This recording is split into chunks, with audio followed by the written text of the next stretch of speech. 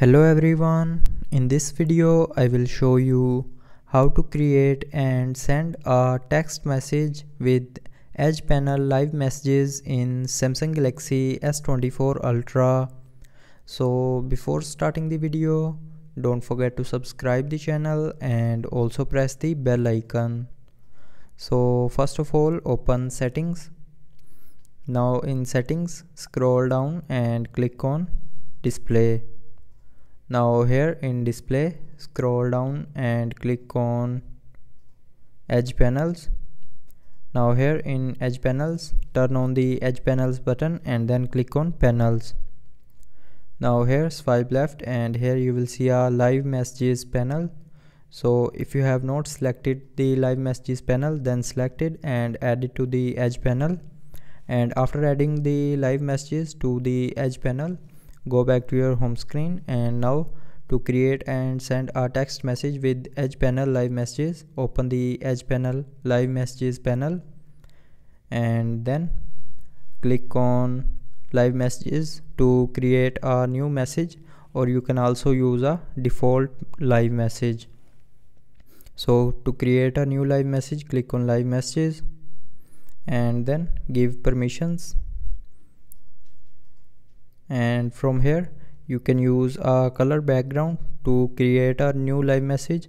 You can also use your camera to capture a picture or video for live message. And you can also select any picture or video from your gallery for the live message. And you can also use the live messages from your collections. Now i will choose a picture from my gallery now after choosing the picture you can readjust the picture and then click on done. Now here you can choose a pen and then you can also choose a color for the live message and then you can choose the size of the pen. Now from here you can switch between mp4 and gif and then you can write anything on this picture.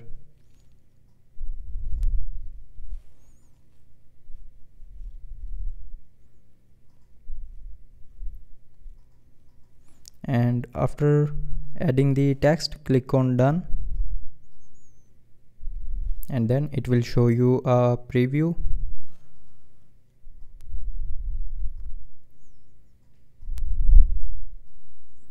and now the live message is saved in the gallery.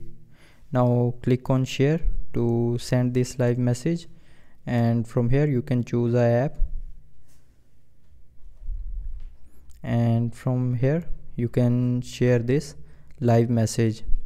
So that's how you can create and send a text message with edge panel live messages in samsung galaxy s24 ultra so i hope you liked the video. Thanks for watching